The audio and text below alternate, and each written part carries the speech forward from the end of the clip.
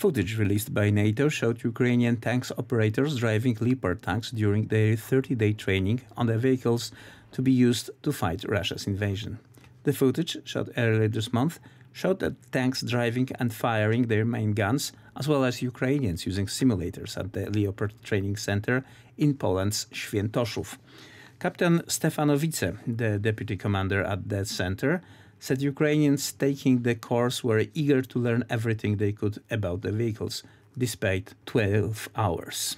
So first start out with the theory in the classrooms, then we go for the simulators with the basics like starting up the engine, some basic maneuvers, and then we proceed onto real tank, training on the tactical strip and introducing some tactics and how to act doing the live firing exercises and such. Even though the training is 12 hours a day, even at the end of the day, they still want to learn more, get some more experience, work a bit more around the tank. They have questions all the time because the, the stakes for them are very high. They want to know as much as they can once they get back to Ukraine.